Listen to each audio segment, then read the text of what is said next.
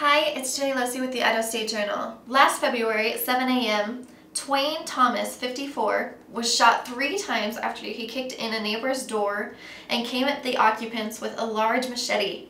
I also talked with Bannock County prosecutor Stephen Herzog to tell us more details on the incident and if this is a good example of why people should own a firearm.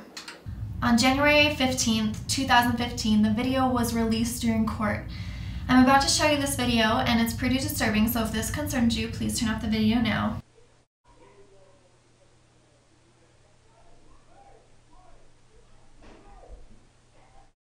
Oh my god.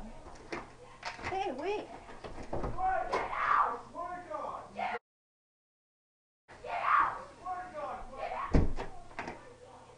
Do not let him in.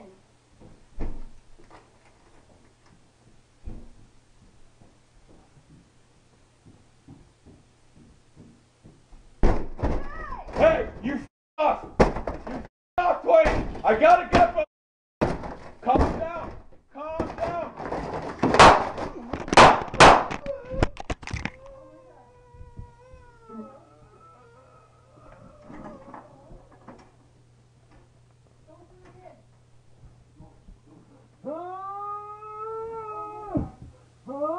Stay down, Twain!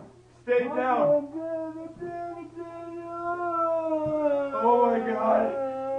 God! Oh god! I think he was shot three times. He survived. Uh, he was arrested and charged with, once he was released from the hospital, uh, he was arrested and charged with uh, two counts of attempted murder and two counts of aggravated assault. And the aggravated assault occurred just prior to him forcing his way into this residence in an apartment upstairs. So this kind of started a little bit earlier and involved another couple in another apartment that he forced his way into and was driven out of that apartment with a, a big uh, staff or something, but they got him out and then he went downstairs where he was shot.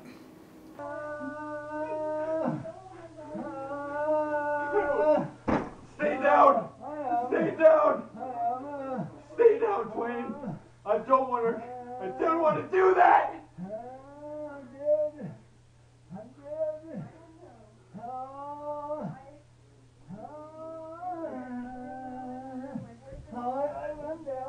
No, don't move!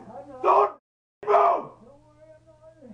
This is a perfect example of uh, your legitimate right to defend yourself in your home from a violent intruder. And you know, there's all uh, people have mixed feelings about firearms, but if you want to point to one particular instance where having a firearm, I think prevented uh, these people getting seriously injured or killed, it was this instance. And the great thing is there was a video that really helped.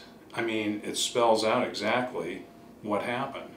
There's no question that the homeowner acted lawfully in defending himself, his girlfriend, and his, his property.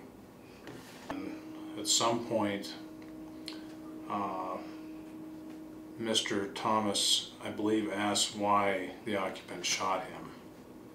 And the occupant goes, Well, I thought you were going to kill me. And Mr. Thomas goes, I was. How you killed me? What? You were gonna kill me! Yeah, You're right. I was. Well, then I did the right thing. You did. It. Why were you doing that, Twain? I did what. I told you the other day. I have no problem with you. It's, it's a really scary video, and it really, uh, you know, it's, and it's tragic, you know, on a couple of levels. For certainly for the occupants, having gone what they went through, and for Mr. Thomas because, uh, you know, he ended up getting shot. He he ended up doing something that he obviously shouldn't have done, which was terrorize these people. In this particular case, having a firearm was uh, absolutely fortuitous. It was uh, the perfect tool, if you want to describe it that way, for a, a, a really bad job that needed to be done. This is really unusual where you know, you, you have a shooting, a justified shooting that is videotaped and is and unfolds in such a uh, I don't want to say appropriate way, but you know the occupant warned, I mean warned the intruder that he had a firearm, and you know that's fair. First of all, if you come into, you don't have to warn someone.